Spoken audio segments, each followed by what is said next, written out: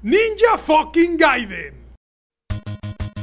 En 1988, Tecmo revolucionó lo que conocíamos hasta entonces en el sistema de 8 bits de Nintendo al crear el primer juego en contener cortes de escena para contar la trama de forma cinemática.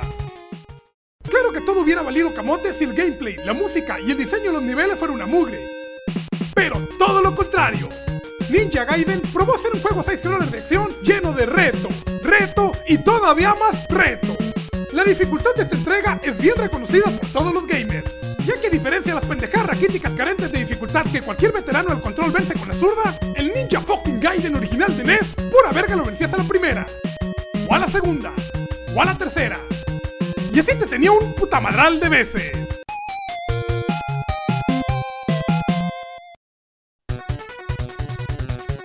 Ese sonido se quedó grabado en la mente de todos los verdaderos hardcore gamers de la época, por más que perdieran, simplemente no podían dejar de controlar a Ryu Hayabusa en su búsqueda por encontrar al asesino de su padre.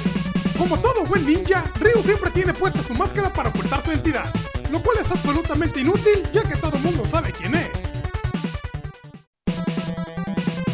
Pero además de su traje, como cualquier shinobi que se respete, también carga un gran arsenal de armas a su disposición como la espada del dragón, estrellas ninja, bombas flameantes, shuriken boomerang, ruedas de fuego, una madre filosa que por alguna razón solo sacas echándote maromas en el aire, y hasta un reloj que congela el tiempo.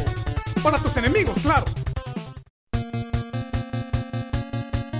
Obviamente los malandros en turno no se le iban a poner fácil al héroe de la historia, ya que estaban por montones y los madafacas aparecían en cuanto te chingabas a uno para tomar su lugar. Había cholos con navajas, negro boxeadores, tipos con garrotes, encapuchados con cuchillos, mercenarios con machetes, ninjas con katanas, karatecas giratorios, guachos con bazooka, tipos raros con cabeza de calabaza de Halloween, shinobis en jetpack y hasta el mismísimo Jason de Viernes 13.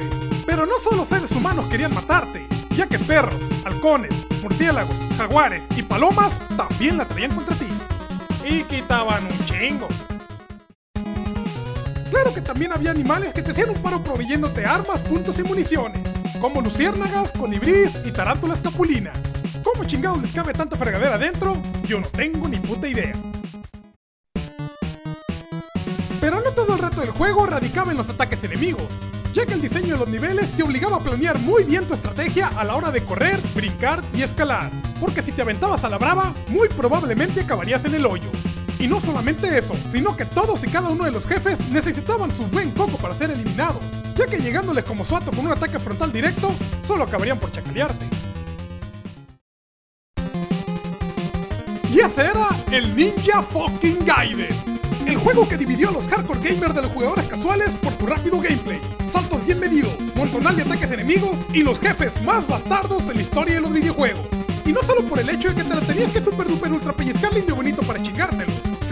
cuando no lo hacías contra uno de ellos, te devolvían al principio del nivel.